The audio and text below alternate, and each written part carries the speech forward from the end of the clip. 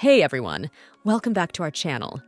If you're a fan of the charming Sebastian Croft, star of Prime Video's hit rom-com, How to Date Billy Walsh, and Netflix's beloved series Heartstopper, then you're in the right place. Today, we're diving into some truly surprising facts about Sebastian that might just blow your mind. Before we kick off, hit that like button, subscribe to our channel, and ring the bell for more awesome content. Let's jump right in. Number 5. Sebastian is a musician. Starting off our list, did you know Sebastian isn't just a phenomenal actor? That's right, he's also a talented musician. While we've seen his acting skills shine through in How to Date Billy Walsh and Heartstopper, Sebastian also frequently shares clips on his Instagram where he's singing and playing instruments. From strumming the guitar to playing the piano, he's got a pretty impressive range. But it doesn't stop there. Sebastian is also a songwriter. He once teased a snippet of a song he wrote, showcasing his musical flair. Who knows? Maybe alongside his flourishing acting career, we'll soon be hearing more about his music ventures. Number 4. Sebastian appeared in Game of Thrones. Next up, many might be surprised to learn that Sebastian graced the screen in none other than Game of Thrones.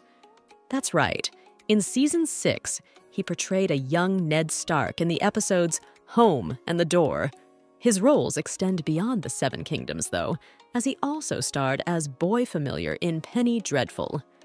More recently, Sebastian has appeared in the film Wonderwell and is set to star in Svalta alongside his How to Date Billy Walsh co star, Nick Frost. Sebastian's versatility in acting is clearly evident from these varied roles. Number 3. Sebastian was linked to one of his Heartstopper co-stars. Now let's talk about Sebastian's love life, or the rumors at least. While his on-screen chemistry with Charithra Chandran in How to Date Billy Walsh was undeniable, off-screen, they're just good friends. He's also very close with Tanner Buchanan. However, his friendship with Heartstopper co star Joe Locke sparked quite the buzz. After sharing several adorable moments post season one, fans were convinced they were a couple. But the truth? They're just best friends. More recently, Sebastian has been linked to Charlie Besso with lots of cute social media interactions, though nothing has been confirmed just yet. Number 2. Sebastian is an activist. Did you know Sebastian is also a passionate activist? Beyond the screen, he's making a significant impact. He designed a Queer Was Always Here shirt, with all sales proceeds going to LGBT refugee charities like Choose Love and Rainbow Railroad. Sebastian doesn't just talk the talk, he walks the walk, even attending Pride in London with his Heartstopper castmates.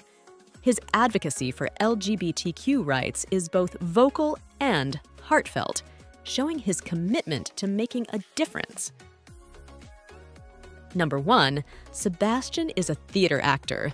It's essential to highlight that Sebastian is a seasoned theater actor. Born and raised in England, he's been immersed in acting since he was just seven years old. Early in his career, he appeared in iconic theater productions such as Oliver, Les Miserables, Matilda, and King John. Working with prestigious groups like the Royal Shakespeare Company and National Theatre Live, Sebastian has built a substantial foundation in the arts. And to think, he's achieved so much already at the young age of 22. Thanks for watching. Are you Team Archie or Team Billy? Share your thoughts in the comments below. And don't forget to like and subscribe.